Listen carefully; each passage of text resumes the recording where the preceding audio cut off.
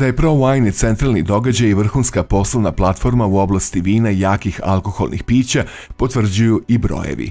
Tokom tri dana manifestacije predstavilo se preko 6000 izlagača iz 61 zemlje. Vinarija Fazan, vinarija Ljubavi iz Bosne i Hercegovine, više sjeverni dio Bosne i Hercegovine. Mi imamo Riesling, Chardonnay, bijeli pino, imamo kupaže bijelih i crnih vina koje su sve surli, koje leže od 9 do 12 mjeseci na kvasu, koja su sva bez SO2, znači bez sumpornog dioksida i koja su sva u biokvalitetu. Mi smo sada u certifikacijskom procesu da dobijemo našu medalju kao što smo do sada za, kao zasluženu medalju za onaj rad koji smo do sada imali. Vrlo je važno izlaganje i pojavljivanje na ProVajnu, zato što tu upoznajemo jako interesantne ljude, isto vredne vinare, a isto i vredne ljude koji i nađu put da naše vino dođe do potrošača. Imamo novitet, ako da vam kažem, naš novitet je